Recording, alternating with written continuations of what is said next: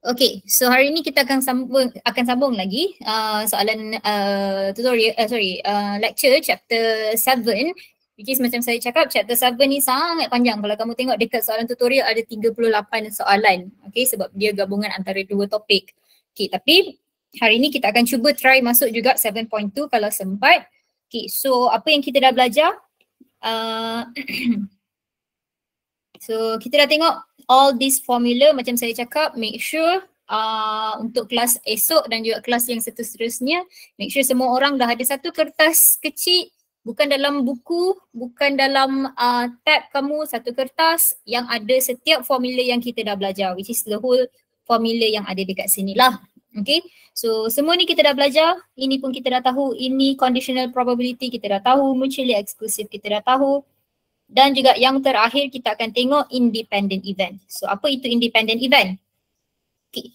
So ini ialah formula conditional event which is PA given B. Okay, given B maksudnya B already happen dekat situ. So the formula is PA intersect B over PB.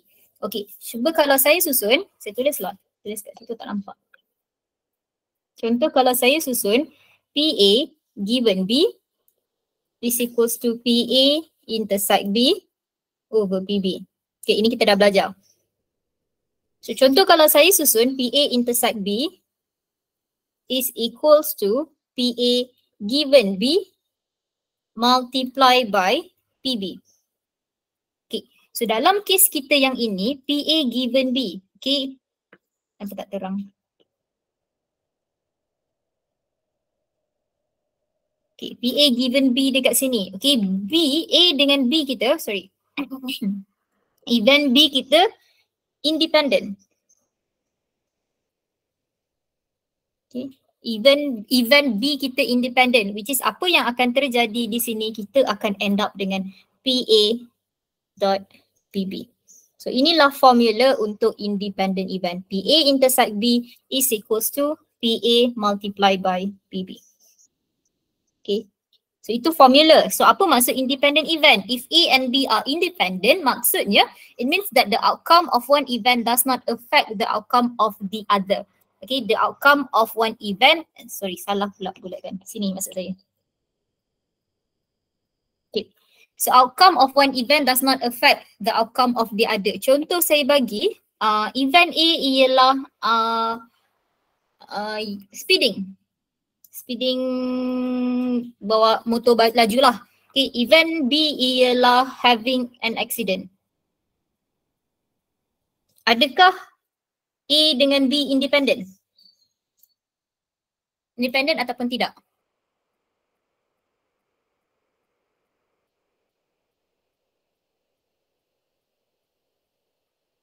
Hmm, lamanya saya bagi contoh event A ialah kita speeding, kita bawa laju. Okay, bawa kereta laju. Event B pula having an accident.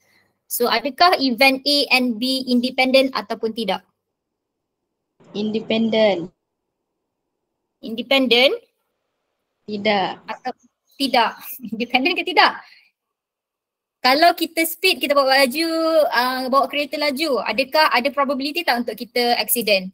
Ada kan? Ada. So maksudnya uh, event A kamu boleh affect event B kamu. So maksudnya A dan B uh, tidak independent lah. Okay. Apa maksud independent? Contoh lagi saya bagi kalau event A kamu uh, having a blue eyes. Having a blue eyes. Event B pula being a doctor. So ini independent ataupun tidak? Tidak, Miss. Tidak, apa kaitan? Apa apa color eyes kamu pun tak adakan effect pun untuk kamu jadi doktor. Okay. So dekat sini kita boleh nampak event A does not affect event B kamu or outcome of the event B. So this is the example of independent event. Okay, this is not independent. Okay, so this is the examples lah. Apa itu independent event? So this is the formula. PA intersect B equals to PA multiplied by PB. So recap balik apa yang kita dah belajar sebelum ni mutually exclusive mutually exclusive PA union B equals to PA plus PB. And also apa yang kita belajar hari ini ialah independent event. Independent which is PA intersect B is equals to PA multiplied by PB. Okay, so independent, one outcome does not affect the other outcome of the event. Okay, mutually exclusive pula ialah two events cannot occur at the same time. Sebab tu PA intersect B kita equals to zero. Okay, so kena fahamlah apa benda maksudnya dekat sini. Alright, so kita tengok example 18 terus. Uh, two events A and B are independent. So the question already tell us A and B are independent. So given PA, given PB, calculate PA intersect B. So straight away dekat sini, kita boleh terus guna formula. PA intersect P, uh, B is equals to PA multiplied by PB. Sebab dia kata A dengan B independent. So Probability of A is 0.4. Probability of B is 0.24. And here we will get 0.1. Okay. So next is PA union B. Ah, jangan guna formula ni pula. Jangan guna PA plus PB sebab soalan tak bagi tahu dia ialah mutually exclusive. So macam saya cakap kalau nak cari A union B satu je cara which is by using the formula. Okay, formula yang utama sekali which is PA plus PB minus PA intersect B. Okay, jangan abaikan yang ini sebab dia bukan mutually exclusive. Soalan tak bagi tahu pun. So kita kena use the whole formula lah. So PA kita is 0.4, PB is 0.25, PA intersect B from question 1, 0.1. So di sini kita akan dapat 0.55. Okay, so itu simple tentang independent event. So next is example 19. Okay, A and B and C are three events such that A and B are independent. Okay, A and B are independent. A and C mutually exclusive. Okay, so kena take note dekat sini. A, B independent.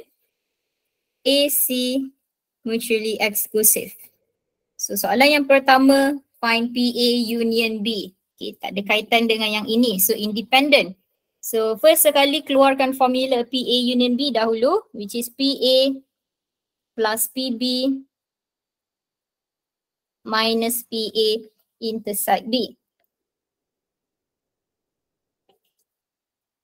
Okay, so PA dah diberi. So PA is 0.4.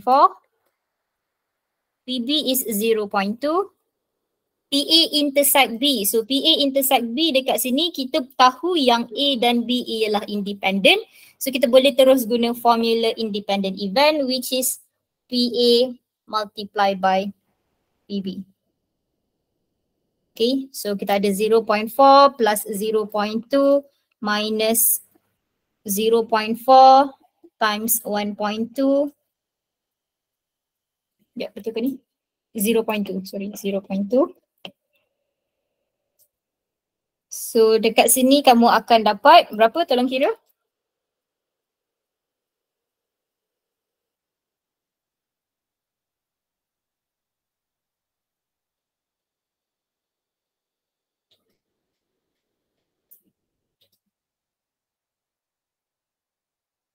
Zero point five two.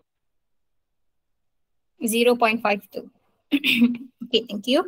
0.52. Okay. Alright, simple je. So next question ialah PC given A, conditional probability. So conditional probability terus keluarkan formula PC intersect B over PB.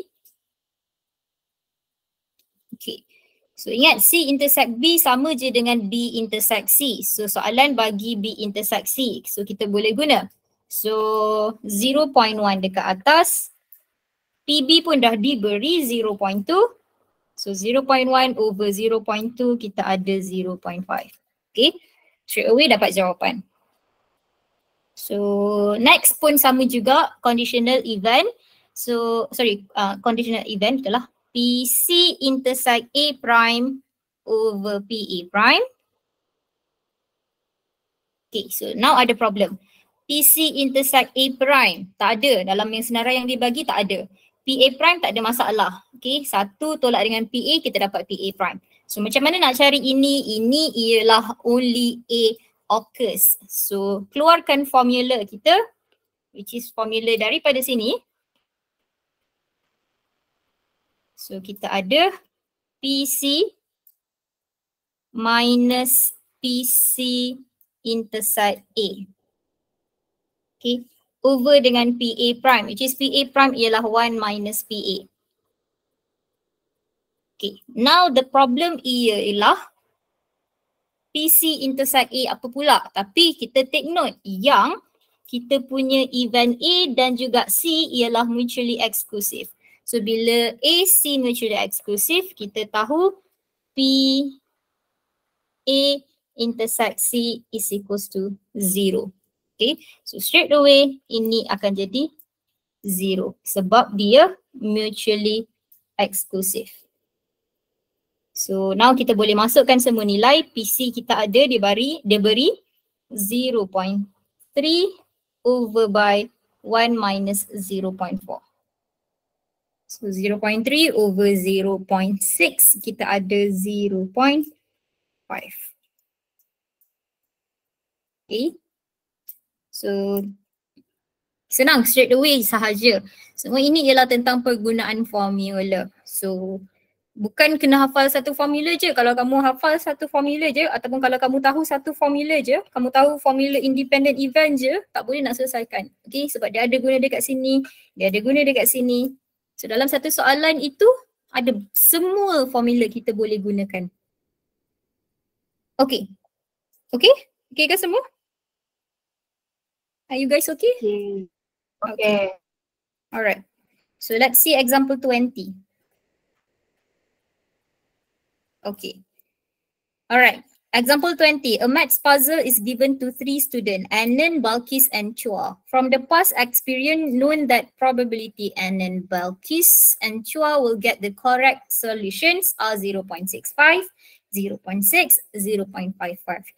First thing first, kita kena fikir macam mana kita nak representkan data kita. Adakah kita perlu representkan data kita? Okay, ada Anan, Anan, Balkis and Chua. Dia bagi kita probability dah. Dia dah bagi probability. So tak perlu buat table, tak perlu buat Venn diagram. Mungkin kena buat tree diagram. Okay, tapi kita tengok dulu. So dekat sini dia kata if three of them attempt to solve the puzzle without consulting each other. Okay, without consulting each other. Maksudnya dekat sini dia independent. Okay, dia tak bergantung. Anan tak bergantung pada Balkis, Balkis tak bergantung pada Chua. So A, B dan C ini independent on each other. So bukan independent on each other, dia ialah independent event. Okay, so apa yang kita ada dekat sini? Uh, known that the probability Anan will get the correct solution is 0.65. So PA equals to 0.65. Balkis pula ialah 0.6. Chua pula ialah 0.55. So kita tahu dia independent. So now we can just go straight away to the formula. The puzzle will be solved correctly by all of them. Maksudnya ketiga-tiga akan dapat jawab the puzzle which means A yes, intersect B, intersect C. Okay, and we know that all the three events are independent. So, apa yang kita boleh keluarkan dekat formula dia ialah PA multiply by PB multiply by PC. So, kita ada 0.65 multiply 0.6 multiply 0.55. Berapa tu?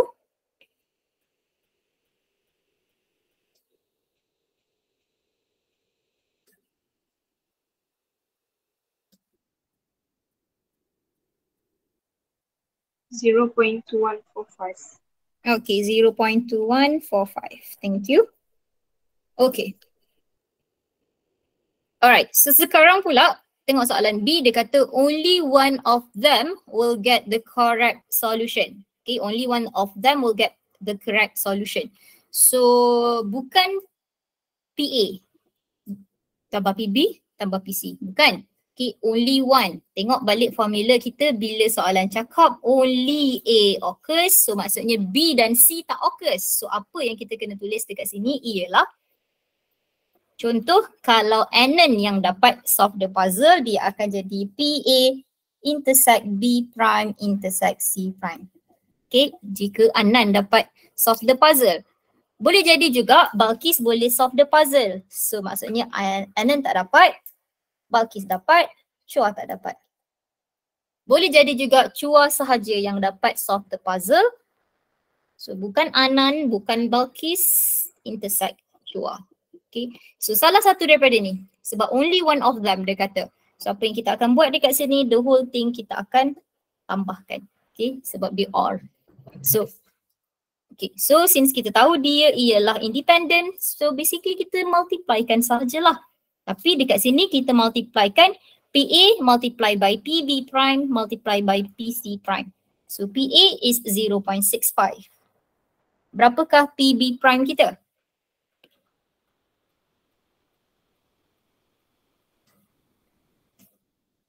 PB kita 0.6, PB prime 0.4. 0.4. Ni 0.4. PC prime kita 0.45. 45. Okay, so the same thing dekat sini buat sendiri, isikan. Okay, isikan. So A prime, A prime ialah 0.25 uh, eh 0.25 0.45 multiply by uh, B ialah 0.6 multiply by C prime sama juga 0.45. So 0.35 dekat situ. 0.35 multiply by 0.6 multiply by 0.45. So sama juga darab dekat sini and you should get the answer 0.289.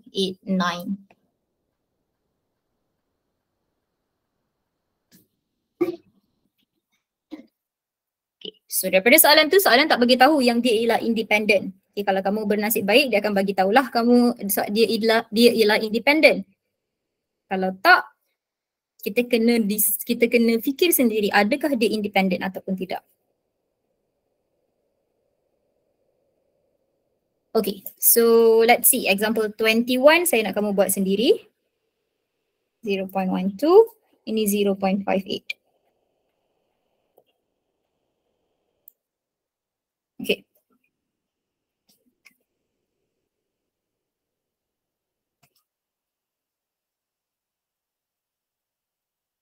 Alright, so soalan tree diagram.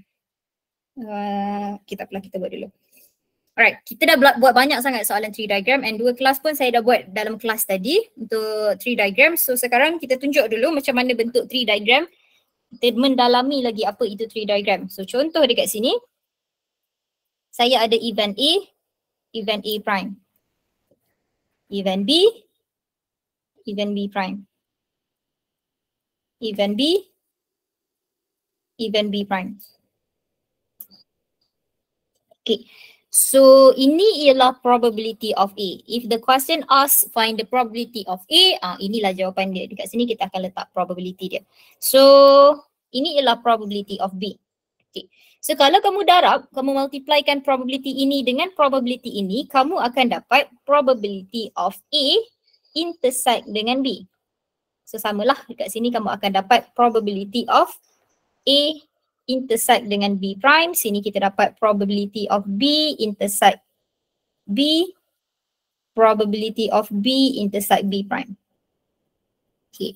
So apa yang akan jadi dekat sini? Ini ialah basically conditional event kamu. Okay, conditional event which is probability of B given that A already happened. So macam mana nak letak dia? Ini ialah probability of B given A. Ini basically probability of B prime given A, probability of B given B prime, probability of B prime given B prime. Okay, so yang selalu kita letak dekat kita punya branch probability dekat branch kita itulah inilah probability-nya. Okay, kalau kamu guna formula kamu akan dapat jawapan yang sama basically-nya. Okay, kita tengok example 22. Probability that Sophia is late for college on any day is 0.5 and it is independent of whether she was late on the previous previous previous day. Okay, so sekarang let's say kita letak L is uh, late and L prime is not late lah. Okay, not late ataupun on time lah. So dia kata if she was late on the previous day, dia bergantung kepada dia late ataupun tidak the next day. So first sekali, let's see. Late or not late. Okay. So probability of Sophia is late for college is 0.15. So dekat sini kita letak 0.15. Also kamu kena tahu the the total probability dekat branch kita ini mesti kena satu. Okay, sebab total probability ialah satu. So total probability dekat branch ini mesti satu, total dia mesti satu dekat sini. So daripada sini kita boleh dapat probability di sini. 1 minus by 0.15, so kita dapat 0.85. Okay, let's say this is the first day. Okay, so the probability that Sophia will late on the next day or not late late, not late. Okay. So the probability doesn't change. So kita teruskan 0.15, 0.85, 0.15, 0.85. Okay, now we go to the question. The question asks us to find the probability that she is late on Monday and Tuesday. So kita cuba tukar. Ini ialah on Monday. And this will be on Tuesday. Let's see. Okay, so any probability late on Monday, this is late on Tuesday. So the question asks probability that Sophia will late on Monday and Tuesday. So late on Monday, let late on Tuesday. So apa yang kita boleh buat dekat sini ialah late, late. Okay, ataupun late intersect dengan late. So along the branches daripada kiri ke kanan kita mesti multiplykan. So dekat sini 0.5 multiply by 0.15 kita dapat 0.0225. Okay so itu cara jawab soalan A. Alright tengok soalan B. Probability that Sophia arrives on time maksudnya not late lah on one of these day. Okay. That means maybe on Monday she will be late. On Tuesday she is on time. Monday the tadi late kan? Not late. Tuesday dia late. So salah satu lah. So what are you what are we going to do is basically kita akan cari probability of L intersect dengan L ataupun kita boleh tulis LL. Sorry. L L prime L prime L. Okay. Let's say dia late on Monday. So dia not late on Tuesday lah. Let's say dia not late on Monday. Dia late on Tuesday. So apa yang kita akan buat kalau tadi daripada kiri ke kanan along the branches kita akan multiply. So kalau nak tahu probability salah satu ini kita kena tambahkan dia. Okay sebab dia or salah satu sahaja. So apa yang kita akan buat ialah we just going to multiply this 0.15 multiplied by 0.85 plus 0.85 multiplied by 0.15. And here you will get 0.2550.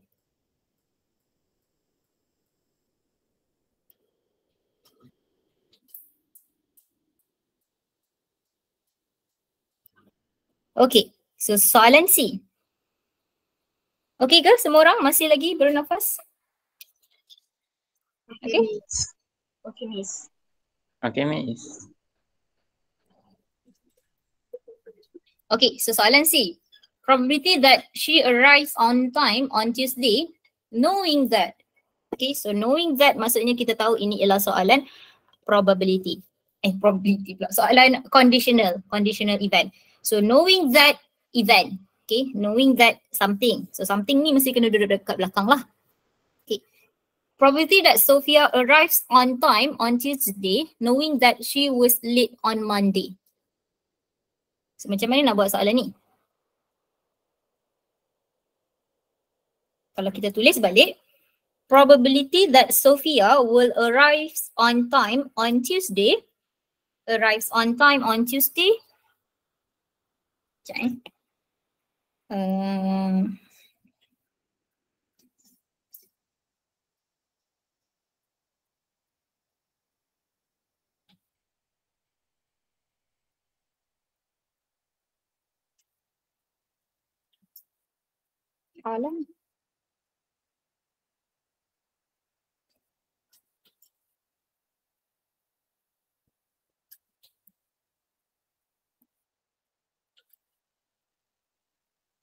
Okay, so probability that Sophia will arrive on time on Tuesday. So P L prime, given that knowing that she was late on Monday. She was late on Monday. So ini yang kita nak cari lah.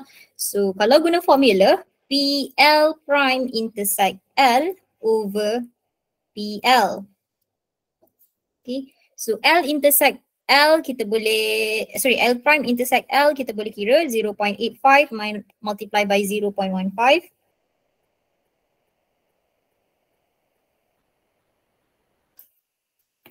PL, PL nak dapat dekat mana? PL ialah she was late on Monday. So she was late on Monday. Ini ialah Monday. So kita kena ambil 0.5. So over by 0.5. So kira kat sini cancel 0.5, we will get 0.85. Okay. So itu bila pakai formula. So apabila kamu tengok yang dekat sini, yang saya dah explain, so apa yang kita nak cari ialah PL prime given L. Maksudnya PL prime knowing that ataupun given that L already happened. So ngamlah kita dapat 0.85. Jawapan yang sama dekat situ. Okay. Boleh faham? Boleh. Boleh ni. Okay. Alright, so last question untuk 7.1. Okay, there are 60 students in certain college, 27 of them taking maths, 20 are taking biology and 22 are taking neither maths nor biology. So first thing first, kamu rasa kamu nak representkan data kamu dalam bentuk apa? Venn diagram. Venn diagram. Okay.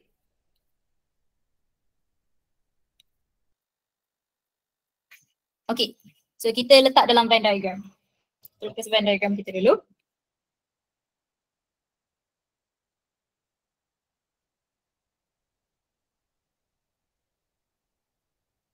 Kenapa lah bulat ini sentiasa tak jadi? Astaga.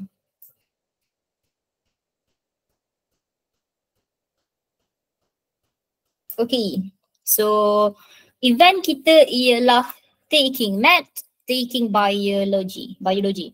So taking math, taking bio. So apa yang dia bagi kat kita ialah there are 60 students in a college. Okay, 60 totalnya. So 27 of them are taking maths. 20 are taking biology. 22 are taking neither maths nor biology. So, yang mana satu yang kita nak tulis dulu? 22. 22. Tapi 22 berada di mana? Di dalam ke di luar?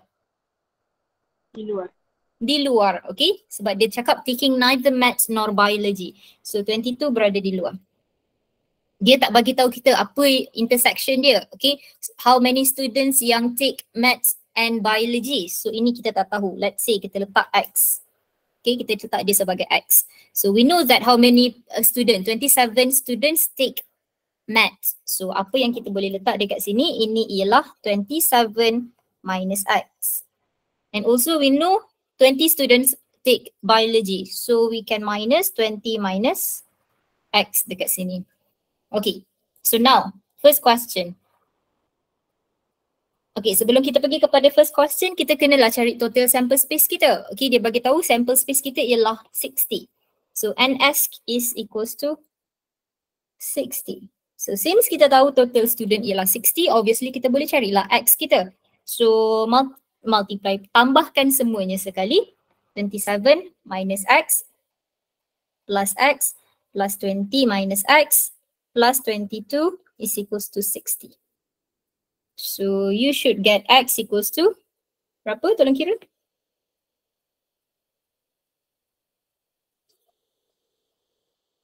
Sixty minus twenty-two minus twenty minus twenty-seven.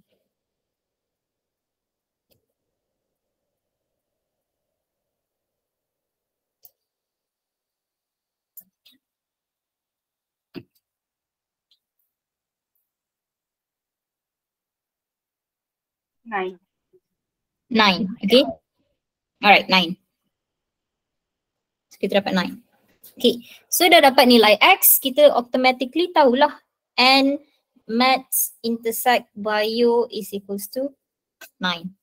Okay, so baru boleh jawab soalan yang pertama, which is the first question, find the probability that a randomly selected student takes both biology and maths. Okay, so PM intersect biology. So kita dah tahu dah number of student is uh, who take maths and bio is 9 over dengan total sample space kita 60. So 9 over 60 lah. Simplifikan kita akan dapat 3 over 20. Okay, simple. Satu. Okay, soalan nombor dua. Probability of student who takes maths only. Okay, maths only bukan PB. Okay, maths only ialah ini sahaja. Okay, kalau PB, eh sorry B pula M. Bukan M.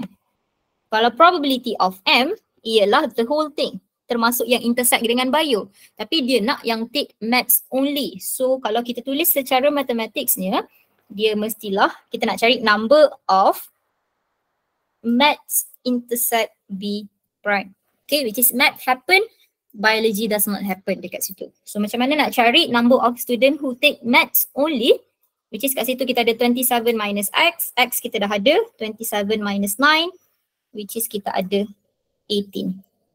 So probability of student who takes maths only is 18 over 60, which is 3 over 10. Okay, hati-hati eh. Maths only ialah P M intersect B prime, bukan PM sahaja. Sebab dia ada sebut perkataan only. Kalau dia sebut probability of maths, ah, kita akan cari PM sahaja. So last question dekat sini dia tanya kita, a student is selected at random determine whether the event taking maths is statistic statistically independent of the event taking biology. So macam mana nak tahu konsep dia sama juga dengan mutually exclusive bila soalan tanya uh, the two events mutually exclusive. Okay, macam mana nak buat? So we know that if uh, taking maths and taking biology are independent, the formula will be okay, ataupun daripada soalan A, from A, kita dapat PM intersect B is equals to 3 over 20. Okay, so M intersect B is equals to 3 over 20. So kita tahu kalau event independent, PA intersect B is equals to PA multiply by PB. So apa yang kita perlu cari ialah PA multiply by PB. Adakah dia sama dengan apa yang kita dah cari? So let's see. PM darab dengan PB. So PM is uh, 27. Okay, 27 over 60. All, uh, all student who take maths and all student who take biology is 20. 20 over 60. 27 over 60 multiply by 20 over 60 pun kita dapat 3 over 20. So dekat sini kita boleh buat conclusion since PM intersect B is equals to PA multiply by PB. M and B are independent events. Okay, so that is how you determine the two event independence or not. Sama juga konsep dengan mutually exclusive. Tapi konsep mutually exclusive, PA union B equals to PA plus PB. Okay? Boleh?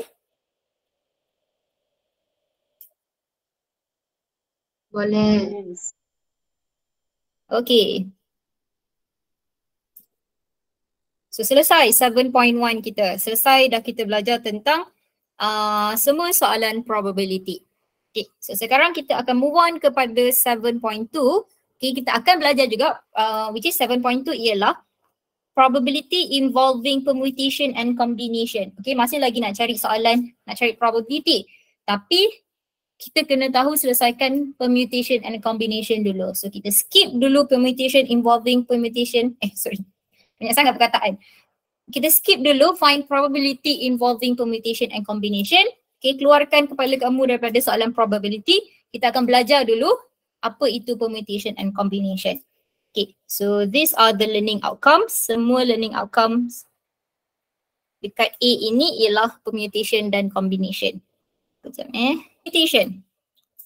So ini apa yang kamu akan belajar. Mainly lah apa yang kamu akan belajar dalam uh, permutation. Which is kita akan belajar uh, how to rearrange n different objects, r object from n different objects, r objects are repeated, conditional permutation and also the last one, the last one ialah combination lah. Okay, so semua ni kita akan belajar dalam permutation dan combination. Okay, so let's see. Tengok, tengok learning outcomes kita. Dekat sini kita akan belajar use the technique of counting find the number of permutation of n different objects, find the number of permutation of r object from n different objects. Okay, kita cuba try habiskan yang ini. Sebelum tu saya cakap, sorry sini salah pula tajuk dia. Permutation kat sini.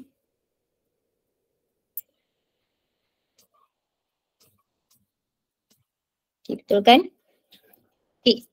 Sebelum tu bila saya cakap permutation, combination ni apa benda permutation dan combination? Okay. Permutation basically ialah konsep yang paling senang nak faham ialah kita ada 21 orang student dalam satu kelas, kita nak susun untuk ambil gambar. Ha, itu konsep permutation. Macam mana kamu nak susun student-student ini uh, untuk kita ambil gambar kelas kita. Okay. Saya nak semua perempuan duduk sekali. Ah ha, itu arahan saya. Saya nak semua perempuan duduk sekali. So macam mana kita nak susun? Berapa cara yang kita boleh guna untuk kita susun semua orang dalam kelas tu tapi perempuan semua kena duduk sekali. Saya nak perempuan duduk selang-seli dengan lelaki. Okay, berapa banyak cara yang kita boleh susun? So itu contoh konsep permutation. So dekat sini kita akan tengok technique of counting. So apa itu technique of counting? Eh,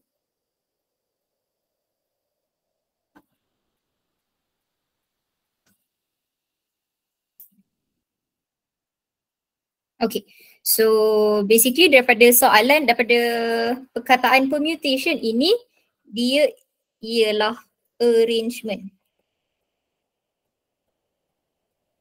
Okay, combination tak apa nanti kita fikir, nanti kita akan bincang. Tapi combination pula maksudnya ialah choose ataupun select.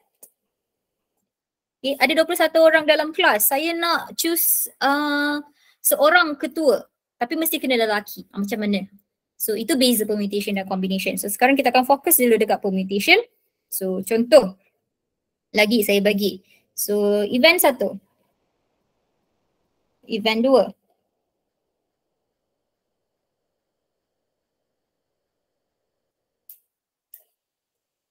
So ni lah. Event satu, event dua, satu, event dua. Okay, contoh bila soalan cakap event one and event two. So bila and kita mestilah multiplykan dia. Okay, mesti multiply. Okay, kalau soalan cakap event one or event two. So mesti kena pluskan dia. Ini konsep yang sama dengan apa yang kita belajar dalam probability lah. Okay, so let's say event one ialah M Contoh M or N, so kita kena darab M times N ways. So kalau dia kata event 1 or event 2, so kita kena tambahkan dia. Hmm. Okay. So ini contoh yang paling mudah lah. Just okay. Just ingat kalau N multiply, kalau OR tambahkan. Okay. Itu macam mana kita cari number of ways. Okay. So let's see. Example one. In a computer game known as Maze of Tunnels, there are two tunnels leading from point A to point B. Three tunnels leading from point B to point C dan seterusnya. Baca sekali memang susah nak faham. Kita lukis. Okay, so kita basically ada point A, B, C dan D. Point A, B, C dan D. Two tunnels leading from point A to point B. Two tunnels. Satu tunnels, dua tunnels. Okay. And then we have three tunnels leading from point B to C. So three, one, two, three. And then we have four tunnels leading from point C to point D. One, two, three, four. Okay ke semua orang? Masih lagi bersama saya? Okay? Okay. Dengar hujung ni suaranya. Alright, so sekarang dia nak cari calculate the number of routes a rat can take to move from point A to point C via point B. So daripada point A nak pergi point C melalui point B. Okay, so a rat nak lalu kat sini, nak lalu kat sini. So berapa banyak jalan dia? So daripada point A ke point B ada dua jalan, ada dua tunnels. So dua daripada point B ke point C ada tiga jalan. Okay, so multiply by three. So kita ada six ways. Okay, now. A rat can take to move from point A to point D via point B and C. So from A to D. So melalui B dan C. So basically ada dua jalan, tiga jalan, empat jalan. So kita just multiplykan sahajalah. 2 times 3 times 4. Jadi kat sini kita akan dapat 24 ways. Okay, soalan C pula. Can repeat the same root? Okay. Apa yang can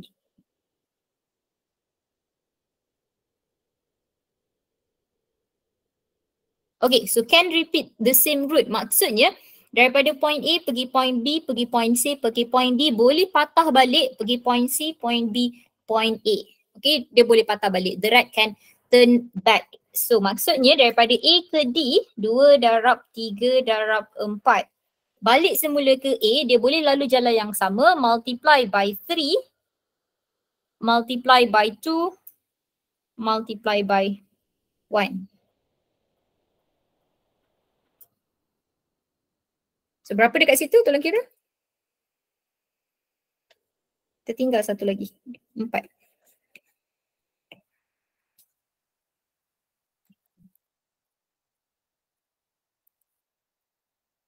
Sorry, tuan tak ada. So kita dapat berapa?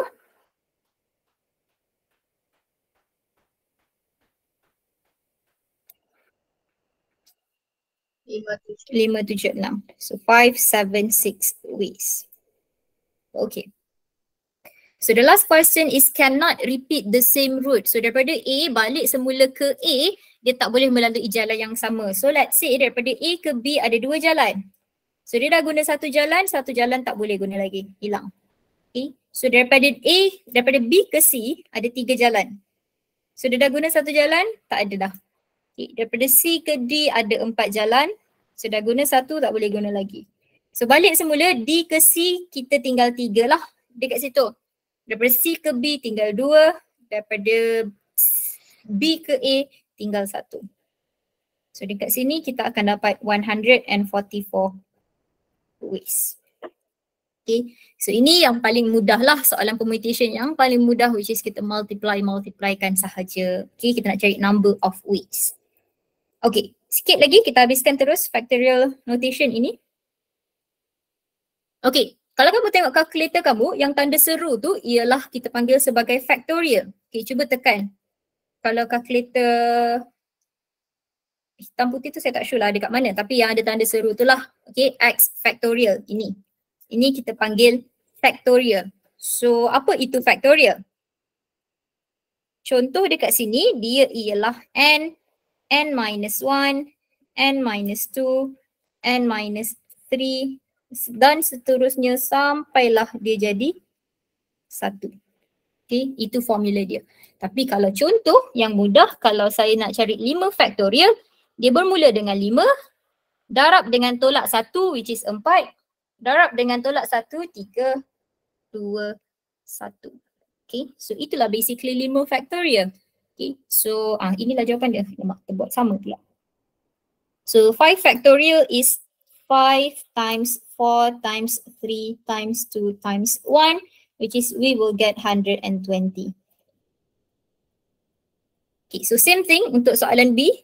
4 factorial is 4 times 3 times 2 times 1. 0 factorial, 0 factorial ialah 1. Okay, ini special case lah. 0 factorial ialah 1. So dekat sini kita dapat 24. Okay, soalan C dengan D boleh buat sendirilah. Saya bagi jawapan terus. Ini ialah 560. Ini ialah P plus Q plus 2. Okay. So next class kita akan tengok macam mana nak cari permutation of a set of object. Contoh.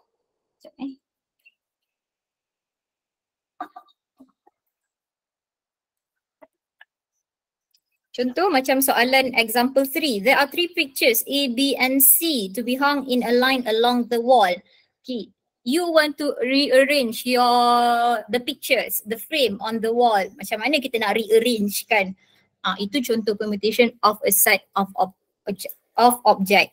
Okay. Beza pun juga permutation of n different object. So macam mana kita nak susun how, how many different word codes can be formed from all the letter from the word logarithm. Okay, ini contoh macam kamu nak berapa banyak permutation untuk buka bag kamu yang dia punya code ialah kosong kosong kosong kosong. Okay, contoh. Itu contohlah. Okay, so we are going to see this on Monday next week. Okay, so so jangan lupa teruskan untuk membuat soalan tutorial kamu. So on Tuesday, by Tuesday saya harap sangat-sangat soalan satu sampai soalan sepuluh kamu dah try attempt. Okay? Boleh ke?